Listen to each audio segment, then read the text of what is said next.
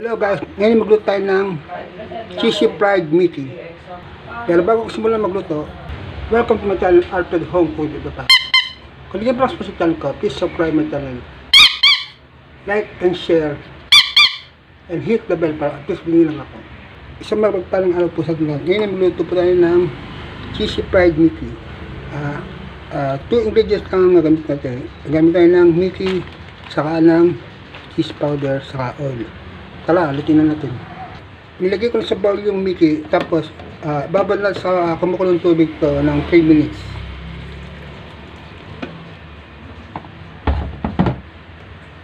Magbabalik ako.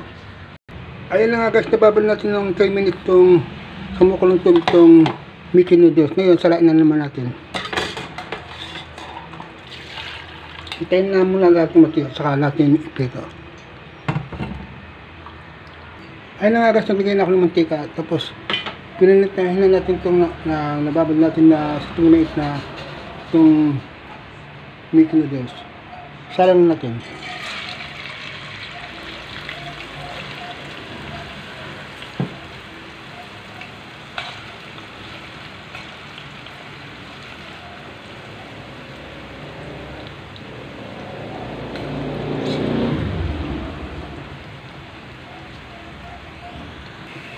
Ayun nga guys, mukhang okay na siya. Hangin na natin siya.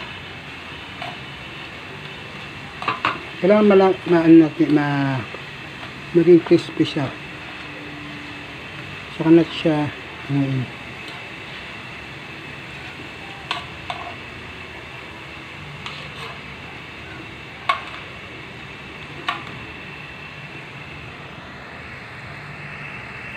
Ayun nga guys, uh, subong, ilagay natin yung second batch.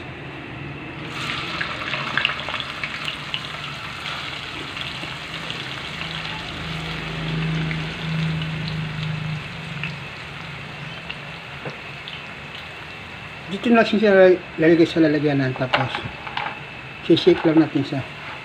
Lagyan natin siya ng cheese powder.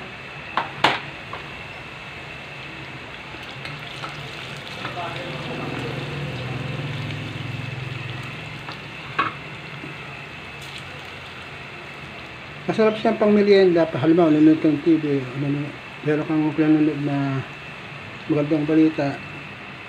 Yan maganda yan kaya meron kang movie marathon, pwede mo gawing snack siya. Kaya yung midnight snack pwede siya. Kaya na nga guys, ito na yung first batch na pinalit natin. Tala, tingnan natin yung second batch kung ito na. Tapos saka lagyan natin, i-shake natin siya. Kaya na nga guys, yung second batch na pinalit natin. Ang masarap. Grabe. Sobrang sarap.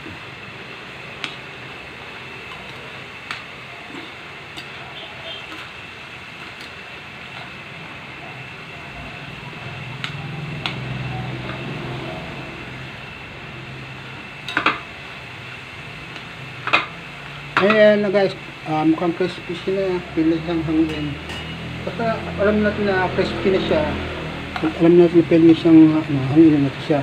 Tapos ilagay natin ito sa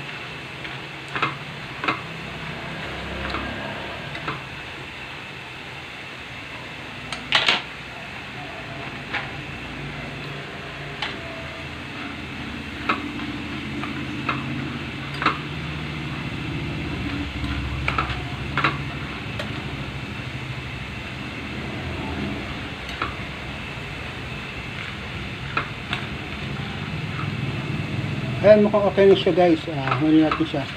Pag nila, ayan, pagka yung nakita nyo nagaganyan na siya.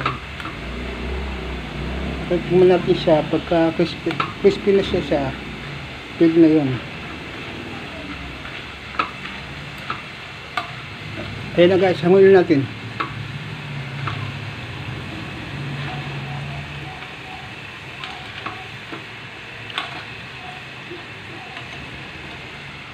Magbabalik ako. Ayun na nga guys, ito na second batch. Lagyan na natin siya ng cheese powder.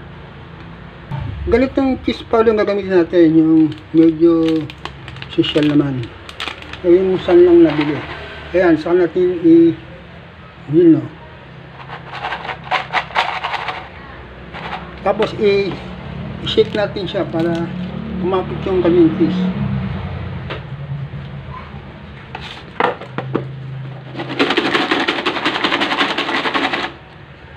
Ayun na nga guys, natin sa bawang.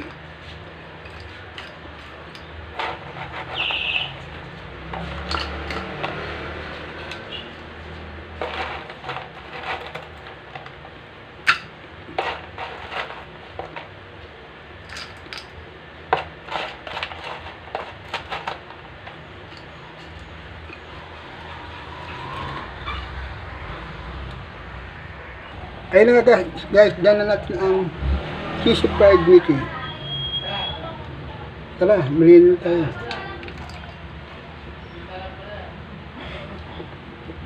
Bye-bye. Good vibes only and God bless us all. Peace out. See you in the next video. Bye-bye.